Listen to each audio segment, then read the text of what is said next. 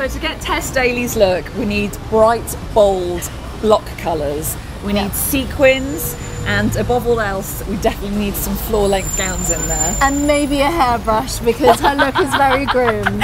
Let's go. Drop, drop.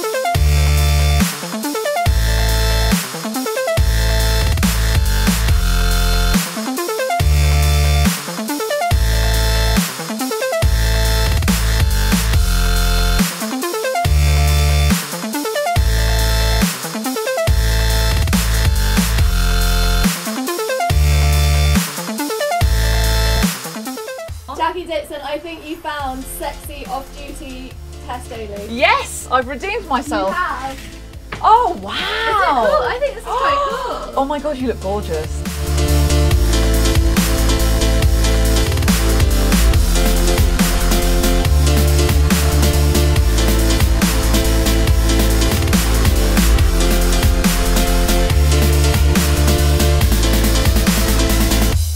Drop, drop.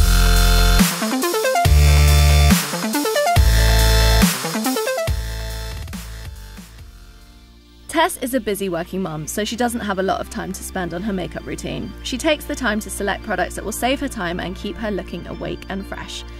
To recreate Tess's daytime look, I'm using Collection's Illuminating Touch. I'm applying it underneath my eyes to illuminate and hide any dark circles. Perfect for multitasking Tess. To work the colour, I'm using Collection's blusher and highlighter duo. For a fresh face look, apply the colour creams to your cheeks and then add the highlighter to add effect. Tess likes to keep her routine to 3 to 5 minutes, so these easy creams are perfect to add a bit of glamour to the school run. Tess wears a lot of summery colours, so to complement this, she keeps her makeup light and neutral, but with a hint of sparkle and impact around her eyes. I'm using nude tones from Collection's Smoky Eye Palette, and then pump up the volume mascara for a fuller fan-like look around my eyes, which saves time when it comes to eyelash curlers.